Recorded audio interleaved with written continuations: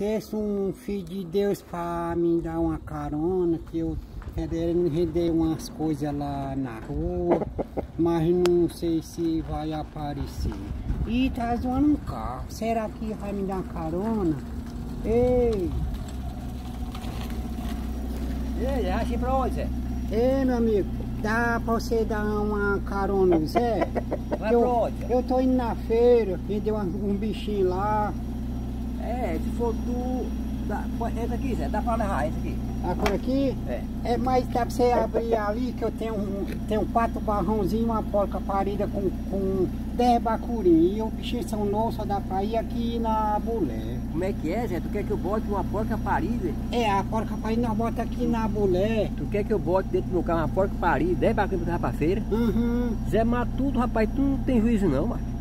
Dou uma carona, se for tu e o galo dá certo, mas tu com bacurinha do meu carro, não, mas não é pau de arara não. Não, mas o bacurinzinho tomaram banho ontem, hoje eles estão tudo limpinhos. Zé, pelo amor de Deus, Zé, pra acabar com a conversa que eu tô ficando raiva de tu, Hum. dá logo lá pros teus eleitores do teu Facebook e da internet aí, Zé. Não tem jeito não. E você não vai dar cara no Zé? Olha, não vai dar cara no Zé. E o Zé vai sempre pra feira.